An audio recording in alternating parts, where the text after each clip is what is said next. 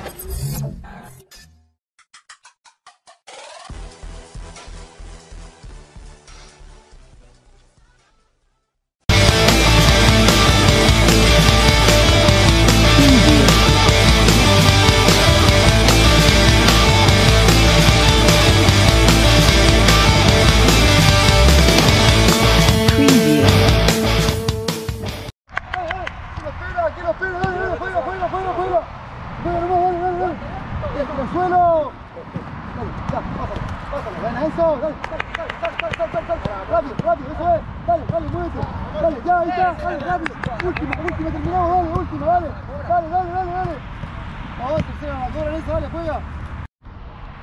Hola, buenas tardes, mi nombre es César Reyes, trabajo aquí en Pudahuel Barranca ya este es mi cuarto año en la categoría, eh, soy entrenador profesional de INAF.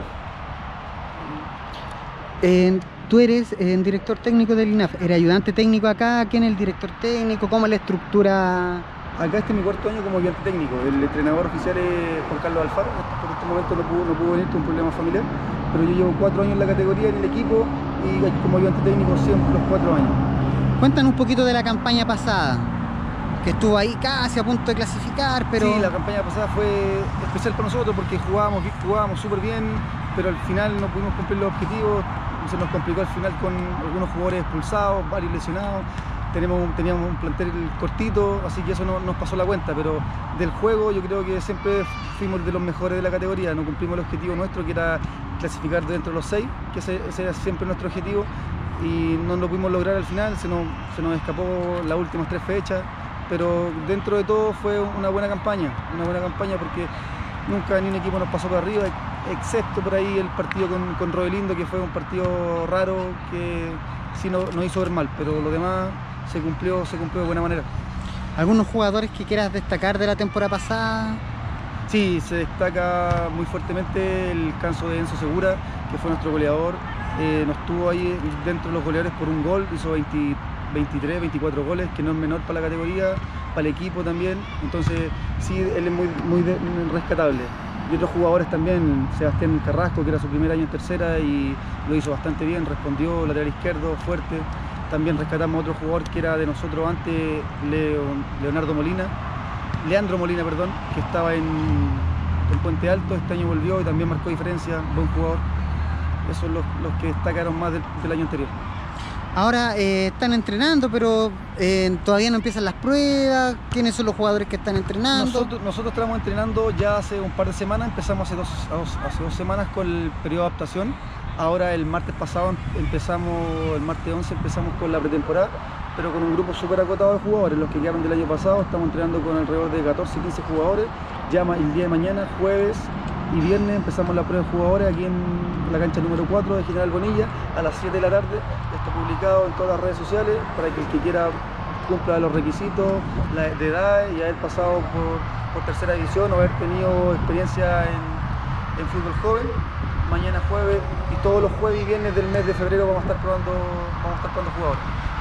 Ya, ¿en cuáles son los requisitos de edades? Porque no todos los jugadores saben si es sub-23, sub-25 o sea abierto a todo jugador. No, nosotros con los cupos ya estamos, estamos completos, tenemos jugadores del año pasado listos que son de nuestra confianza y esperamos que este año rindan lo que, lo que, tienen, lo que tienen que rendir, lo que venían haciendo el año pasado y solamente estamos de 18 a 23 años y dejamos los cupos los 24 y los 25 años fuera.